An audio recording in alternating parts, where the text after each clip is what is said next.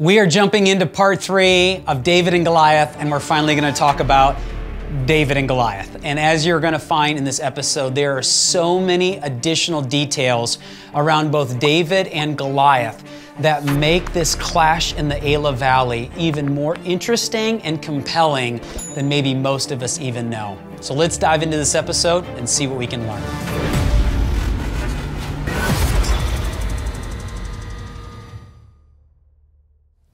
Your best against our best. It's the idea from the ancient world called single combat. The best warrior from one army versus the best warrior of the other army, and that will settle it. That is what Goliath is asking for in the Elah Valley when he is shouting to the Israelites. And this was one of the ways in which battles were determined in the ancient world in order to limit the catastrophic effects of war on an entire army. Now, I know that feels a bit antithetical because you go, but it's a battle, there's going to be casualties. Well, yeah, but even minor injuries could turn into something really significant because they didn't have the same medical advances that we have today. What's more, and the more significant aspect behind why they would do single combat, is because it wasn't just army versus army, it was deity versus deity.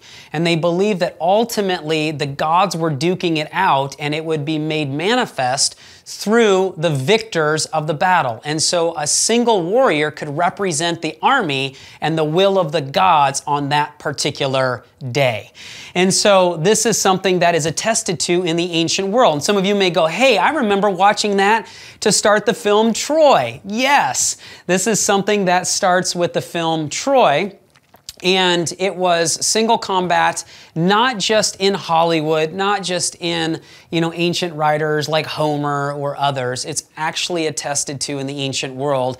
And malcolm gladwell's book david and goliath in the introduction does a really great job of providing some really helpful historical sources on this idea of single combat, as well as some other facets that we're going to talk about in this episode. So, we finally get to David and Goliath. The last episode we talked about David and Saul, and in this episode, we're going to be tackling David and Goliath. So, let's jump in with Goliath. In 1 Samuel 17, verse 4, we read, And there came out from the camp of the Philistines a champion named Goliath of Gath. Gath is only seven miles from the Elah Valley. Uh, David had to come 14 miles from Bethlehem for the battle. Uh, Gath is one of the five cities of the Philistine Pentapolis. The Philistines took up residence on the coastal plain with the International Coastal Highway. Typically, as I've always thought about David and Goliath growing up, I'm like, man, Goliath must have come from a long way away. Well, the Philistines are a subset of the Sea Peoples that came out of the Aegean in roughly the 12th century BC fought a significant battle against Ramses III in the Nile Delta, ended up on the coastal plain. There's a whole history that I just wrapped up in about eight seconds. Um, but all you need to really know is that Goliath came from Gath, a significant city seven miles from the Elah Valley. In fact, here's an aerial um, picture of the city of Gath Aren Maeir and his team have just done an amazing job with the archaeological excavations there. Here's a photo of one such place. But the city exists. Uh, you can excavate it, you can walk through it, you can see it. Just a really cool thing to consider when you're talking about 1 Samuel 17 continues, whose height was six cubits and a span. A cubit was the distance from your middle finger to your elbow, and obviously that changes based on how long, you know, your arm is, but generally speaking, it's an average of 18 inches. And a span is the difference from your pinky to your thumb. And so six cubits and a span is nine and a half feet. That is huge. Not unheard of, though, from the ancient world. We have anthropological evidence of very tall people from this era that have been found in excavations. And so, That is a very, very big dude. Um, in fact, it's interesting. Some of you have probably done additional studies, and you'll know from the Septuagint, which is the Greek translation of the Older Testament Hebrew, that they actually reduced his height to four cubits in a span. So that makes him six six. So we don't know was he literally nine foot six, or you know, did the you know Hebrew writers of the Masoretic text you know try to talk about hey we're going to increase his height because he's so big? Is that why you know later? Um, folks reduce that height. We don't know, but either way you shake it, Goliath is a big dude in comparison to the Israelites that we know from anthropological evidence as well that the average Israelite was 5'5, approximately 125 pounds. And so Goliath is a big dude. Now, the Bible never calls him a giant.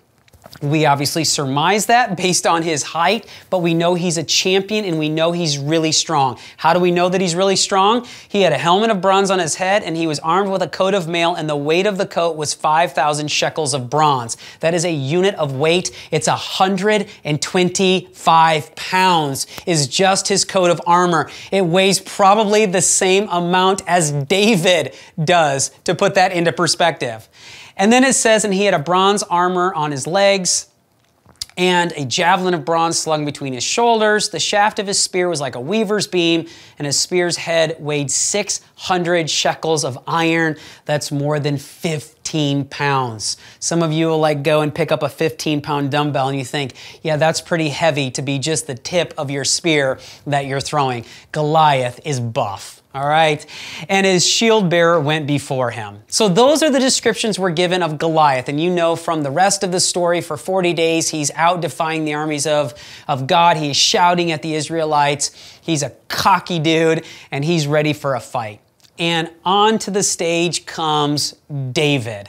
And as David, in our last episode, we talked, gives Saul his resume as well as a bit of a confrontation on who's the real shepherd here, we see that on the heels of the conversation with Saul, Saul at least feels comfortable enough to grant David the right to go into battle against Goliath. It says that then Saul dressed David in his own tunic. He put a coat of armor on him and a bronze helmet on his head. David fastened on his sword over the tunic and tried walking around because he was not used to them. I cannot go out in these, he said to Saul, because I am not used to them. So he took them off. Now remember from an earlier episode, Saul is a head taller than anyone else which means that it's not just that David isn't used to wearing the armor. The size of Saul compared to David, there's a huge discrepancy. This doesn't even fit David. If David is going to wear armor to go out into a battle, that's not the size that he wears. And so David goes, okay, so I can't do this. And then it says that then David took his staff in his hand, chose five smooth stones from the stream, put them in the pouch of his shepherd's bag, and with the sling in his hand, approached the Philistine. Now, just real quick, because I know some of you are going to send in questions around why did David choose five stones? I don't know. Okay, yes, Goliath has four brothers, and if David takes out Goliath, maybe he thinks the brothers are going to come. How does David know that Goliath has four brothers? I don't know. Um, some go, well, there are five books of Moses. Clearly, David is a man after God's own heart. He's very interested. He has a high faith in God. Maybe it's somehow connected to, you know, the five books of Moses and God's word. Um, some people jump into gematria, which is numerical values connected to Hebrew letters to derive further meaning to why there's five stones. I don't know. Maybe David is just really pragmatic. And he goes, if I'm going to take out Goliath, the Philistines aren't just going to lay down and say, we won. And if they come after me, I'm going to need a few extra stones in my pouch.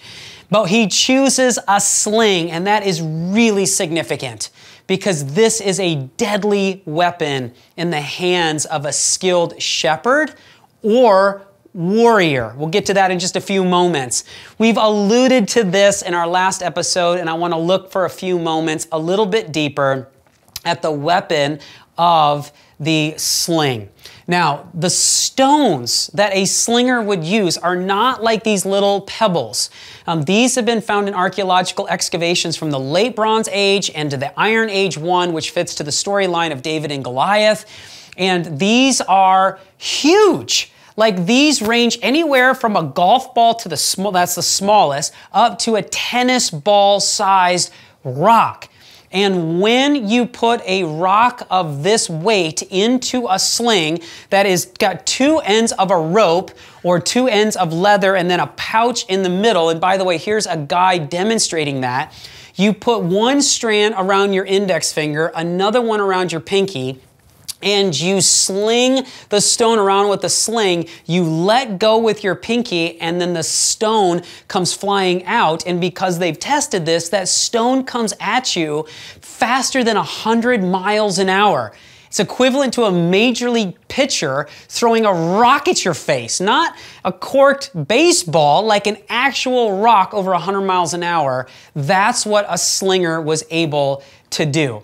Now, and it's not just shepherds who used a sling, this was used in ancient warfare. Uh, you have three primary groups that soldiers would fall into for ancient warfare. You've got infantry, which are your foot soldiers. This is what Goliath is. He is heavy infantry. The dude's wearing 125 pounds of coat mail. This is your hand to hand combat, up close and personal. You've got your cavalry which are your people who are on horseback or are in chariots. These are your agile warriors. And then you have your artillery, your projectile warriors, which are both archers as well as slingers. Those are your two projectile warriors. And these slingers are really dangerous.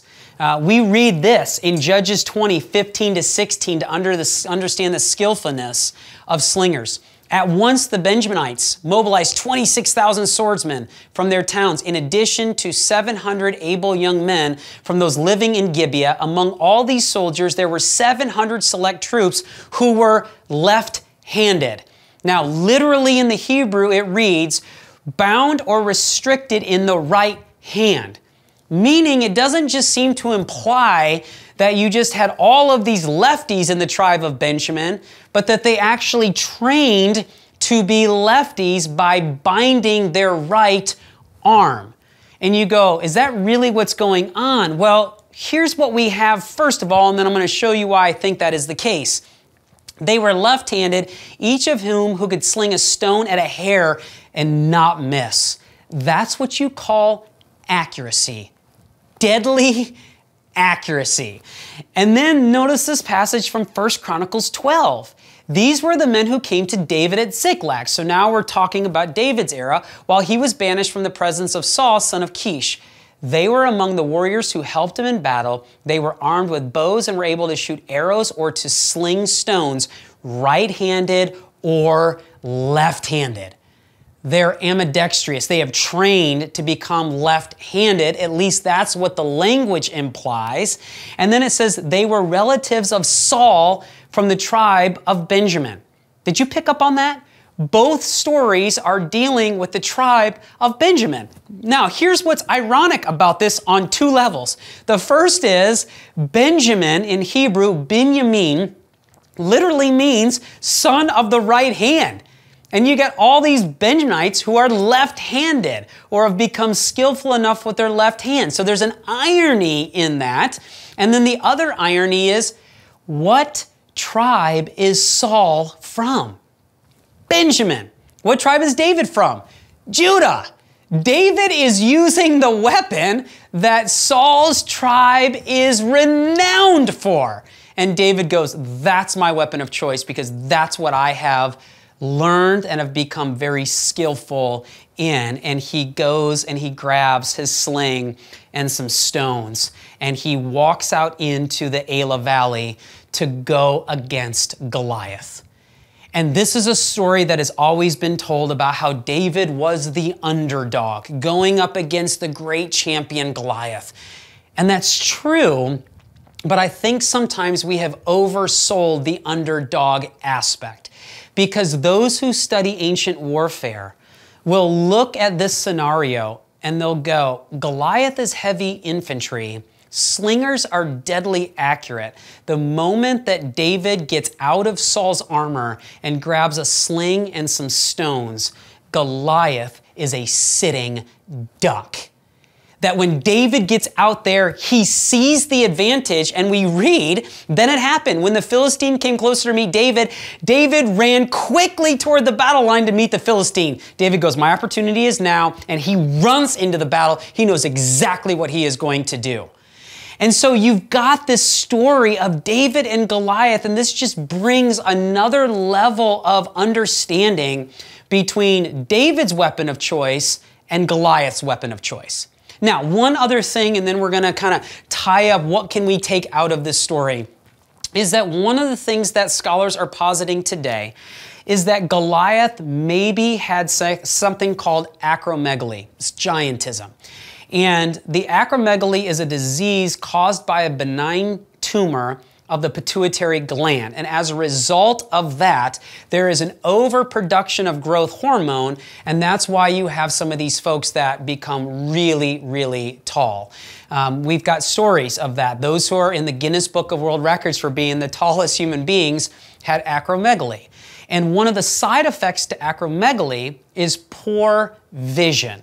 And there are three details in the story that seem to connect to Goliath not having fantastic vision. So let's run through these very briefly. The first is he has a shield bearer. That's weird. Infantrymen had their own shield because it was up close and personal fighting hand to hand combat. Those who typically had a shield bearer were the artillery, the archers, because they are holding a bow and pulling back with a string, that both hands are on the bow and the arrow. And so you have a shield bearer that would hold it in front of the archer so that as they're shooting, they're not getting hit. And yet, he's got a shield bearer which makes you wonder does the shield bearer serve more as an attendant who's giving him instructions as the opposing warrior starts to get closer? Because often a distance, perhaps Goliath can't really see as well as he would like to. Um, second observation the Philistines said to David, Am I a dog that you come at me with sticks? Plural. We read the passage earlier that at least when David went to the brook, he had a staff in his hand. Did David drop the staff and only have his sling when he went out in the battle lines? We don't know. But at most, at least in the story, David has a stick singular. So why sticks plural? And then the third is, is that the Philistines said to David, Come to me and I will give your flesh to the birds of the air and to the beast of the field. Why does David need to come to him? Why can't Goliath go to David? Again, maybe his eyesight isn't great and he's beckoning David to come to the battle line. We don't know, but it's something that people are positing to the story itself.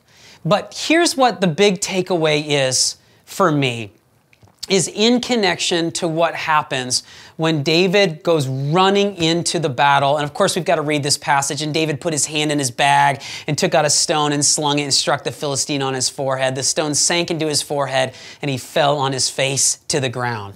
Like David latched onto the opportunity. He knew what his window was and he took it. And with skill and precision, he dropped Goliath that when you just kind of step back from this story, one of the things that I think we can take away as it relates to David is that David didn't fight on Saul's terms nor Goliath's. Saul wanted him to fight a certain way, Goliath wanted him to fight a certain way, and David had enough wisdom to go, I have to live into the skill set that I have been given, that I have developed, and that I need to use if I'm going to do what God is calling me to do. And so I think that there is something about the gift set that is important, but I don't want to overemphasize this. And so that's why I just want to spend a few moments on this passage from the chapter before when Saul is looking for someone to help him. One of Saul's attendants answered, Behold, I have seen a son of Jesse the Bethlehemite who is a skillful in playing, a man of valor, a man of war, prudent in speech, and a man of good presence, a good countenance, and the Lord is with him. And I think that detail at the end is huge. The Lord is with him. That David did not just rely on his skill set, He lived into what God was calling him to do, what God was empowering him to do, and David knew that God was with him in what he was about to do. And I think this just leads us to just this recognition that God has uniquely gifted each of us with certain gifts and skills, and that the calling here is to do what God has uniquely gifted you to do.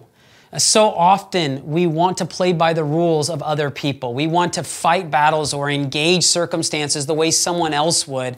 And at times we just fail to recognize that God has uniquely gifted us to do things that He is asking us to do.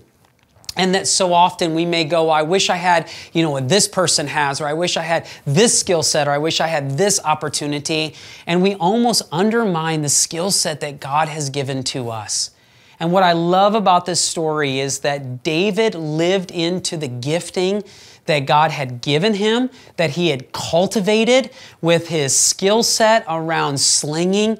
And when he knew the time was right and God was calling him into something, he ran into the opportunity, even though others may have thought, What's going on here? This is a dumb situation. David goes, No, I know what I've been gifted to do, and I am going to go and I'm going to use those gifts. And I would just submit to you God has gifted you in a unique way, and not just gifted you uniquely, He has strategically placed you where you find yourself. And so often we can look at where we're at and go, this isn't where I want to be, or this isn't really an important job or an important position. But just recognize if God has placed you there, He sees it as being important. And our responsibility is to be faithful with the giftings that God has given to us and to recognize that wherever God has placed us, whether it is in the business sector or in nonprofit world or in education or in media or in politics or wherever God has placed us, He's done that intentionally and He wants to work through us to impact other people's lives. And I believe that if we are faithful to the gifting that God has given to us in the position we find ourselves, that God's going to work through us in order to bring about His purposes in the world. So do what God has uniquely gifted you to do. Don't try to be someone else. Don't try to do what someone else would do. Do what God has gifted you to do.